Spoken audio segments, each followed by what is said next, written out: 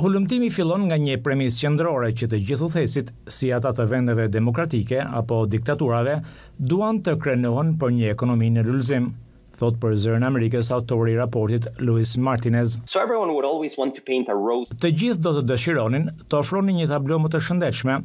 Dallimi thelbësor është se në demokraci kemi një rrjet të tërë kontrollesh dhe balancash që e frenojnë disi këtë sjellje. Hipoteza themelore është se kur shikojmë regjimet jodemokratike, këto kontrolle dhe ekuilibra mungojnë tërësisht. Por si mund të matet rritja ekonomike kur nuk mund të bazohesh tek shifrat qeveritare?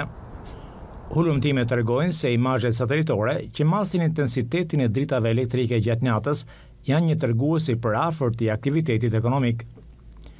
Një shembull i thjeshtë janë pamjet gjatë natës të gadishullit korean. Koreja e Jugut shkëlqen nga dritat, por përtej kryeqytetit Seul, ku shtrihet kufiri me Korenë e Veriut, panorama e natës është krejtësisht e errët.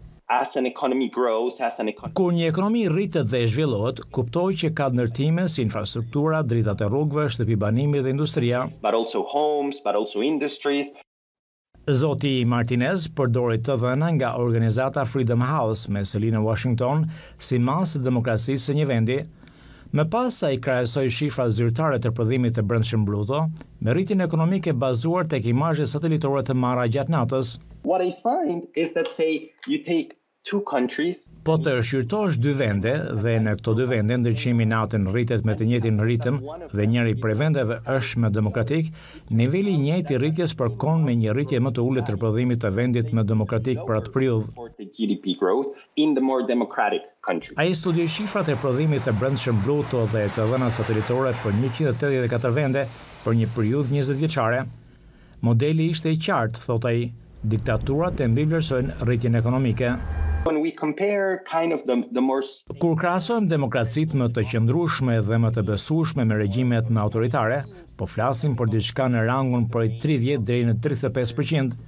Kjo do të thotë se nëse norma e vërtetë e rritjes është një përqind, regjimi autoritar do të raportojë normën e rritjes me një presje tre përqind. Javën e kaluar, udhëheqësi autoritar i Kinës, Xi Jinping, bëri betimin për një tjetër mandat pesëvjeçar.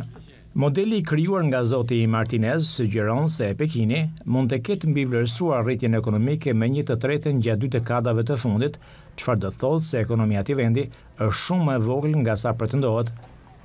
Kina mohon të ketë manipuluar shifrat ekonomike. Partia Komuniste Kineze raporton një rritje ekonomike prej tre presje nëntë për qind gjatë tremujorit të tretë, por publikimi i shifrave u shty me disa ditë pa shpjegime, çka përkoi me kongresin e Partisë Komuniste.